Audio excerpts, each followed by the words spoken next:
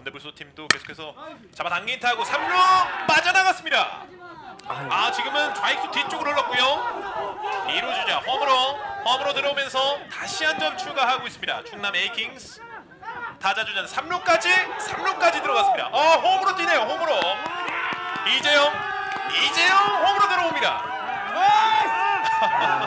1회 그 기억나십니까? 그렇죠. 네. 3루 3루수가 2루로 한 번 빠뜨리고 우익수가 빠뜨리고 지금 그 그라운드 홈런 에러 그라운드 홈런이 지금 또 한 번 1회에 이어 3회에도 나왔습니다. 충남 에이킹스 아, 상대의 또 그런 실책과 주루 플레이를 섞어 가면서 두 점을